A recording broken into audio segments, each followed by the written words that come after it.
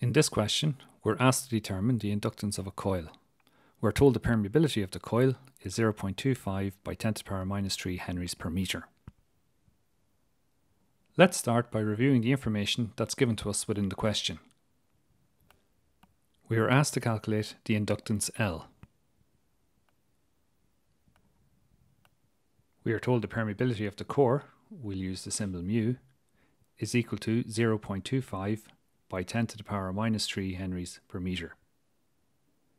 We are also shown here that the length is 1.5 centimeters.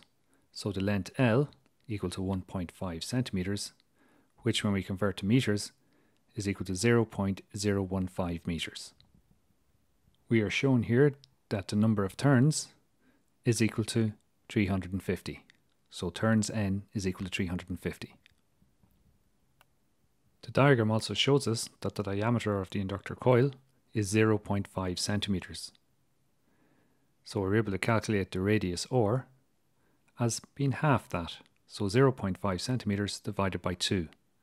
And if we convert that answer into meters, we get 0.25 multiplied by 10 to the power of minus 2 meters.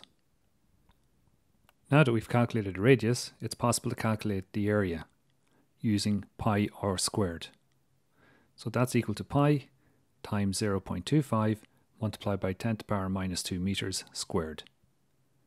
This gives us an answer of 1.96 multiplied by 10 to the power minus 5 meters squared. We now have all the information required to calculate the inductance L. This is calculated by the number of turns squared times the permeability times the area all divided by the length L.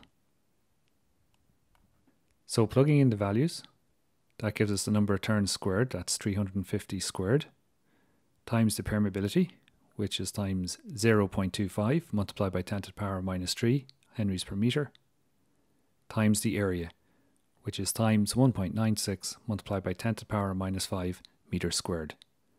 All this is divided by the length, which is 0.15 meters.